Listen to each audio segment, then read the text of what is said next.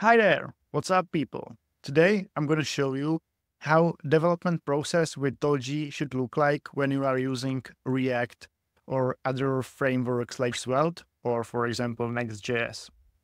It always works the same when you are using Tolgee with web application framework. I have this app. Uh, this is some uh, list to pack uh, so I can add items, or for example sunglasses, and I can add new item. And we are going to provide new feature to this app. And I'm going to show you the development process on that. So I added my sunglasses. Now I would like to remove them, but there is no delete button, right? So as a developer, I'm currently going to add this delete button feature. I already have uh, Tolgee set up in my project you can see that I already have prepared Tolgee instance. Uh, I have Tolgee provider wrapping my app code. To prepare your project for localization with Tolgee, you can follow our docs. There is going to be a link under this video. So I have everything prepared. Uh, when I'm in development mode with Tolgee, uh, then the data, the localization strings are fetched from the Tolgee platform. So I'm providing the API URL of Tolgee REST API, and I'm providing the API key. So I authenticate to Tolgee REST API.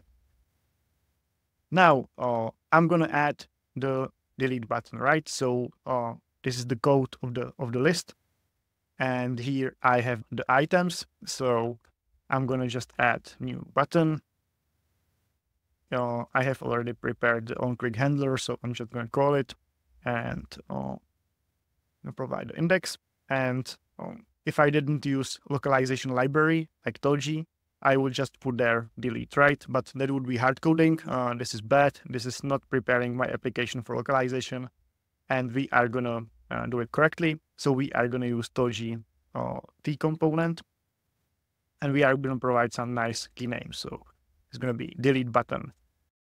When I'm going to go back to the application, I can see I have the delete buttons here. Oh, the delete button works, that's fine, but I need to provide a default value for it, the localization string.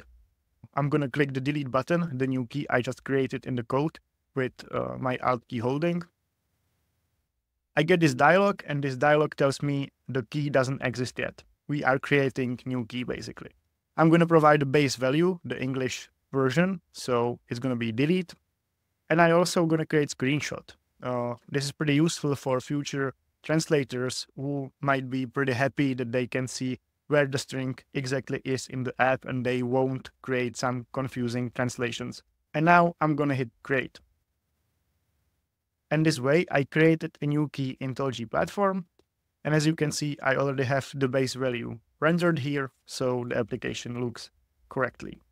Another great feature of Tolgee is that uh, when you have enabled auto translation, uh, it automatically translates new key to the other languages uh, or the languages for which you enabled the feature. So now I have also translated into uh, German. When I open the Tolgee platform, I can see it's also translated to Czech. Uh, here I can see it was translated by uh, Translator.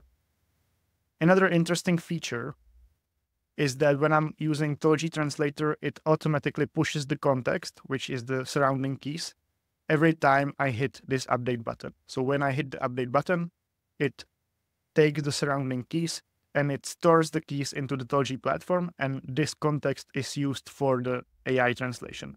So usually the translations are correct uh, right away.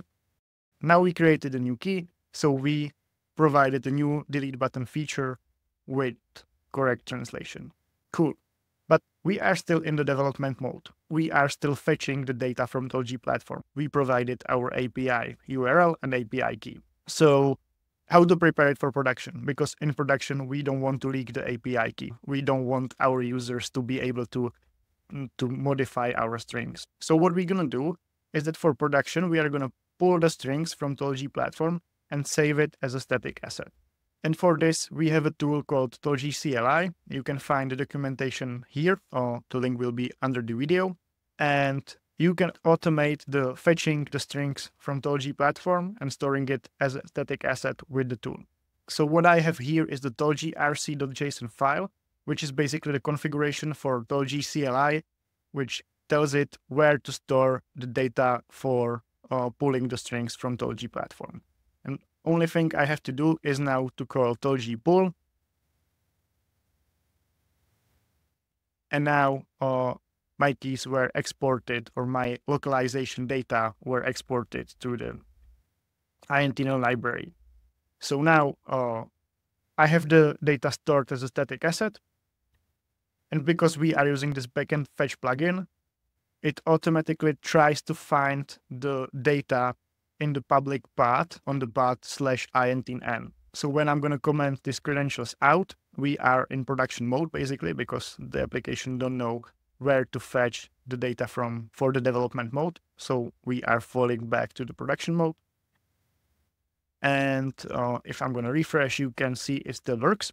But when I'm going to uh, open the network tab in my DevTools, uh, you can see it automatically downloads the data from intn slash en.json. If I'm going to switch the language, for example, to French, it fetches the data from fr.json. It just downloads the data when it's required by the application. There are several different ways how you can also provide the static data to Tolgee instance. Uh, you can read it in the documentation page, or you can use it via dynamic import. You can use it via imported object, or uh, you can use the backend fetch plugin as I showed you. So that's it. Now you know how you can develop localized features. Thanks for watching. And if you like these videos, please subscribe to this channel. Bye bye.